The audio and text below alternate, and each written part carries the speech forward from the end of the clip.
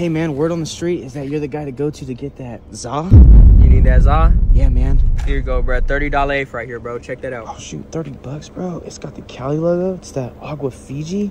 Shit Mhm. goes for like a hundred bucks in the suburbs. Wait, wait. You said a $100 in the suburbs? Can I see that real quick? Fuck you, heard me. Oh, my fault, bro. I misread the packaging on my. Hey, silly me. This actually goes for like a hundred dollars a eighth. And, but cause this some goods all like this gonna get you. Woo!